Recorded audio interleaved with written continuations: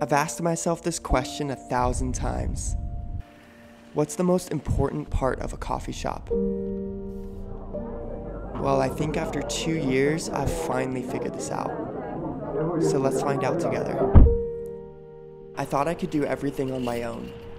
I worked myself to the bone to make sure this coffee shop was successful.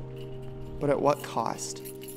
This was not sustainable. I remember at times being so exhausted and burnt out that I would daydream of selling the coffee shop every day for months. This is no way to live. Something had to change. I didn't know in the moment, but you know when something just has to change?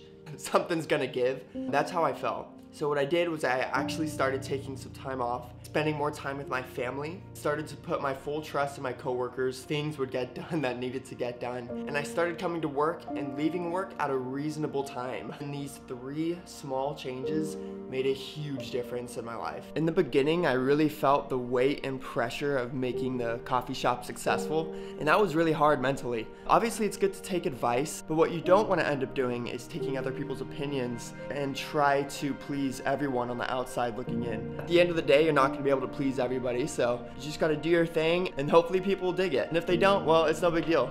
And you just keep moving on. I think a lot of people outside looking in think the most important things are usually like the location, the coffee, where's it sourced from, how's it roasted, the equipment, building, all these things of course are super important, but it's not the most important thing. What makes a coffee shop so special that when you walk in, you think to yourself, man, this place is different, this place is cool, and keeps making you come back over and over and over again? If you really think about it, I think it comes down to this. So here it is. I first thought it was based on my effort alone, and boy was I wrong. What would this place be without this?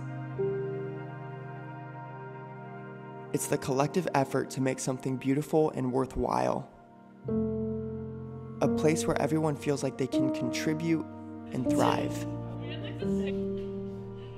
And it's about the memories you create with one another along the way.